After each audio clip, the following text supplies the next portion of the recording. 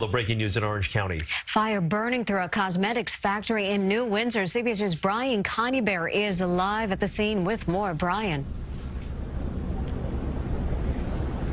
Mary and Chris, this is still a very, very active fire scene. Take a look at beh behind me. This is the factory that is on fire, and you can still see thick black smoke coming out of Verla International.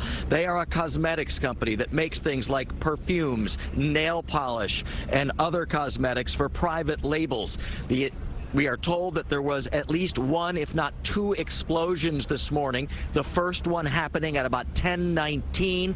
A police lieutenant from the town of New Windsor was driving by, actually heard the explosion and reported it in. There are firefighters from across Orange County and beyond here right now trying to deal with this. The factory has been evacuated. We see several of the employees here. Some of them actually have uh, masks on covering covering their faces from the thick black smoke that is filling the sky. It can be seen for miles around. We're told that there are at least eight injured firefighters at this point and several injuries to people inside the factory, though we do not have a firm number just yet. We're being told that the injured were being triaged nearby here and at least some of them taken to St. Luke's Cornwall Hospital.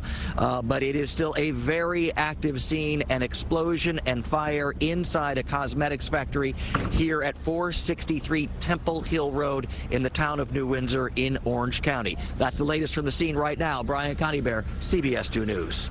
Brian, thank you.